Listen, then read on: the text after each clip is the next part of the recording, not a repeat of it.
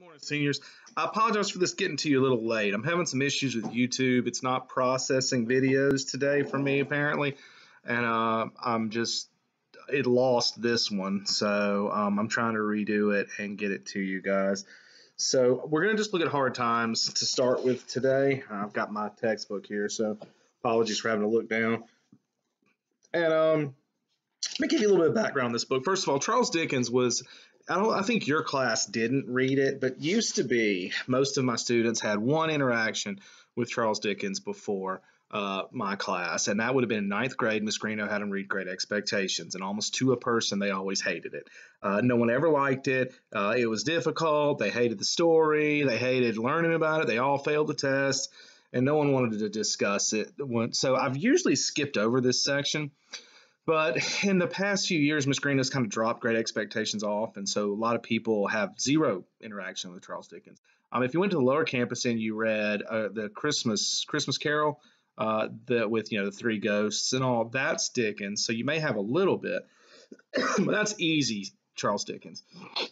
His actual stuff is a little bit more complex, a little bit more difficult, and so your textbook had an excerpt from his his book Hard Times, which is a critique of the education system in 1800s London. Um, it was it's a very good uh, good book. It, I, I don't dislike Charles Dickens. I do find his work a little bit difficult and a little bit inaccessible at times, but Hard Times is about education, which is something very close to my heart. So I really enjoyed it. And it also attacks the things about education that I don't like. So it kind of fits my way of viewing things. So, of course, I want to teach it, right? Um, so, one of the things we want to look at right as you begin the chapter one excerpt is the famous part of this story, which is about facts. Uh, that says, Now, what I want is facts. Teach these boys and girls nothing but facts. Facts alone are wanted in life. Plant nothing else and root out everything else. You can only form the minds of reasoning animals upon facts. Nothing else will ever be of any service to them. This is the principle on which I bring up my own children, and this is the principle on which I bring up these children. Stick to facts, sir. So what basically, and this is the headmaster of this school, a guy named Thomas Gradgrind, which we're going to talk later, that Dickens makes his characters have names that fit their personalities. So this guy's saying that the importance is teaching facts and facts alone. And this is a system that is not unheard of still today in 2020. All right. Think about schools that are built, especially public schools, which are built around standardized testing. Um, the entire year is built around these tests, and that is memorizing facts. Um, and memorizing facts is an essential part of education, okay? I'm not going to say it's not, but especially the level we're at now, it's not the most important thing.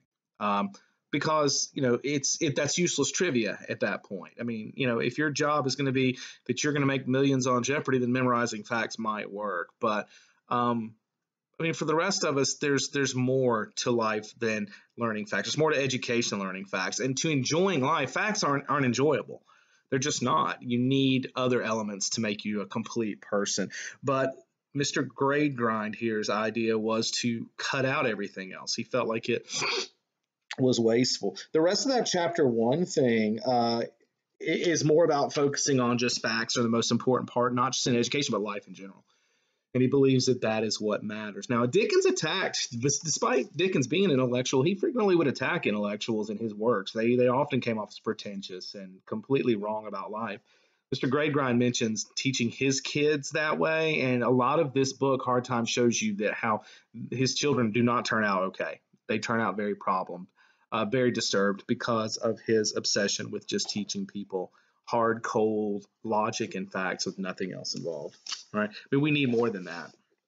So, okay, the rest of the excerpt is just chapter two. And chapter two kind of focuses on a couple of really key elements. Um, we meet a second uh, teacher, a guy named Choakumchild. I mean, what a terrible name. But again, no one in real life would have that name, but Dickens loves to give names to characters that indirectly characterize them. Uh, that's one of his key uh, techniques, one of his author styles. So it works. It's really strong in this novel. Um, so he he mentions in the actual book, Sissy Jupe, Cecilia Jupe, or girl number 20, as she's referred to by Mr. Gradgrind, is uh, another pretty important character in the book. And they uh, they only call her girl number 20 because, again, that leans to their factual standing. You know, you are the seat you sit in, you're not an individual person. Um, and that's that's a problem. I mean, you think about how prisons treat people as a number and how schools and oftentimes treat people as a number, maybe not as literally, but that's a problem for sure because we're individuals and we each have our gifts and we each have our deficiencies and learning to de- to praise those gifts and to bolster those deficiencies is really a key element to us becoming good people and looking for the strengths in others and playing to that you know? It's what good managers do. Managers know okay this person is great at this so we're going to put them in a position to succeed there. This person's bad at this we're going to try to keep them away from that. Um, it's just it's a it's a la- it's just something that lacks in management today okay? So uh, in major ways and it's why they never use their employees per, uh, properly. So, uh, so let's look at this part. It says, "Girl number 20," said Mr. Gradgrind, squarely pointing with his square forefinger. "I don't know that girl. Who is that girl?" "Sissy Jupe, sir," explained girl number 20, blushing and standing up and curtsying. "Sissy's not a name," said Mr. Gradgrind. "Don't call yourself Sissy. Call yourself Cecilia." Its father calls me Sissy, sir, returned the girl in a trembling voice and with another curtsy. Then he has no business to do it, said Mr. Gradgrind. Tell him he mustn't. Cecilia Jupe. Let me see. What is your father? So right away, he even attacks the casualness of her name and wants her to go by like her given name. There's no room for nicknames or anything like that. He asks her really kind of an interesting question. They find I mean, through the discussion, she finds out, he finds out her dad works with horses and stuff. And he asks her to basically tell him what a horse is, which is, you know, even if I asked you guys to define a horse for me, that's a really hard thing to define. I mean, we all know what a horse is. We have seen pictures of them. You know, it's an animal, a real pretty animal that you go out and ride. Some of you do. I'm scared of riding horses, but uh, things like that. Um, she doesn't really know how to answer it. And his response is girl number 20, unable to define a horse. Girl number 20, possessed of no facts in reference to one of the commonest of animals. And if it's one of the commonest of animals, why do you need to define it? It doesn't need a definition. Everything does not need to be, reduced to a definition, and that's one of the things um, that that really this book is. And then the excerpt particularly is really hammering. Okay, um, he goes to another boy, a boy named Bitzer, and asks him to define. Listen to how he defines a horse. Quadruped, graminivorous, 40 teeth, namely 24 grinders, 4 eye teeth, and 12 incisive. Sheds coats in the spring in marshy countries, sheds hoofs too. Hoofs hard but requiring to be shod with iron. Age known by marks in mouth. So that's his definition of a horse. Wow, that sounds boring. You know, nothing says I want to go and uh, ride a horse or spend time with horses by except hearing the word graminivorous. Um, so yeah, he knows the facts that go with a horse, but that doesn't mean he can ride one. It doesn't mean he appreciates one. All that. It's one of the problems with education today. The idea that we're just going to memorize a bunch of facts and we're going to memorize a bunch of formulas, and we're never going to learn to appreciate this stuff or to see a purpose in it. I think it's one of the big problems with math instruction in many places. It's here's a bunch of problems, here's a bunch of formulas, here's how you answer the problems. But at no point is there any appreciation for why we need to know this. You know, you always got you guys always ask that. Why are we ever going to need no, know algebra or geometry or calculus? And if we could spend more time going over why these things are important and saying, here's where people use them in the real world. Here's where geometry makes a difference you know, I, am an amateur carpenter. I work on building furniture and stuff in the side, and I use geometry constantly because, you know, um, I was doing uh, my old kitchen table that I built. Um, it had cross pieces that were at angles, and I used geometry because the actual, and I didn't have a plan, I had a picture. But the initial picture, when I looked at kind of how it was measured out, it was an eight foot table. We needed to shrink it to six. We needed to change the angle of the boards because of that, and I used geometry for that you know, learning things like that makes it a lot more valuable than just here's a, a formula for an angle. Why would we ever need that? And you know, I think that's one of the things like with with their definition of a horse. Yeah, it's great that you know how many teeth a horse has, but that's never going to help you appreciate it. And it's not it's not useful. It, it really isn't. Um, again, like I said, unless you're on a quiz show, no one's ever going to want to know. Nothing's going to ever depend on how many teeth a horse have, unless you want to be a horse dentist, if that's a thing. So you know, facts at the end of the day don't serve much purpose beyond, you know, base knowledge, but then you have to go farther than that. And that's where our education system is still falling down daily. You know, we want to memorize a bunch of stuff so you can pass um, a standardized test or do really well on the ACT so we can get you into college and you can learn a bunch more facts. So then you, excuse me, can get a, a piece of paper that allows you to get a job where most of that stuff you learned will be of no use you know?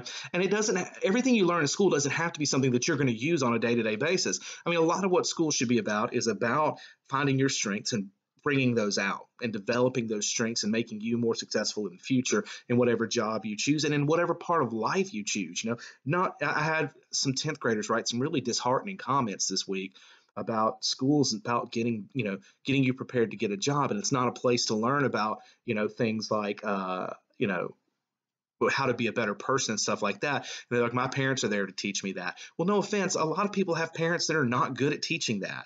And a lot of parents don't even try. They're too busy with their own stuff to even sit down with kids and teach them that. So, you know, education should be more than facts and just memorization. It should be about training the whole person and finding your strengths and helping you supplement your deficiencies. And Mr. Gradgrind and Mr. Choke'em here, neither of them understand that. Now, Mr. Gradgrind's going to learn it throughout the book, which we don't have here, but I strongly encourage you to read it if you really want.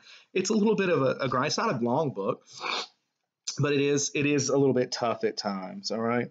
Um, continuing on, we get a little bit more here. Uh, they kind of talk about why you shouldn't have like certain types of wallpaper because you know if you have wallpaper with flowers on it, well flowers don't grow on a wall wall, so why would you ever want that? And stuff like that. Which when we're looking at that, that seems like an absurd argument, but to people like that, it makes perfect sense. Um, they're like, you know, this isn't real. This isn't how things work, so why would you want it that way? And the fact is that most of us don't want that. I don't want things to be real. Uh, reality is harsh enough. I'd like to have escape, uh, and they don't want you to have that. They want everything to be built around fact.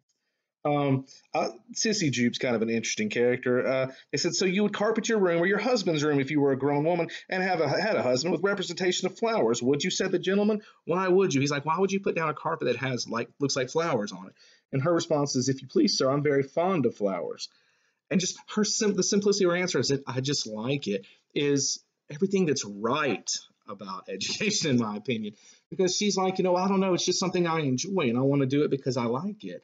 And, uh, you know, life isn't just about facts and the, you know, realism of it. There's so much more to it. There's this, there's this level of life that we should enjoy, you know? Um, I have a treadmill in the back.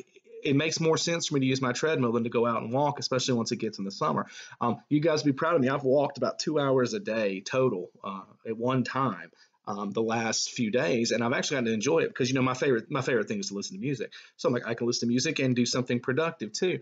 So I've been out doing that, and it would make more sense to use my treadmill in the back because it's air conditioned in here. It's a lot healthier for me.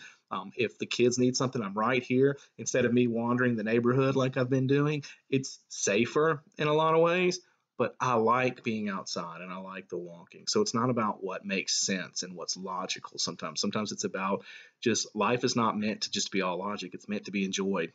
And, uh, you know, I enjoy being outside right now. It helps elevate my mood, which is not great on a general basis. This is uh, Keller pointed out that of all the teachers, I was going to hate this online thing the most, and not because I'm bad with technology. I can do that all day, but I do. I hate this. This being by myself with just my children all day.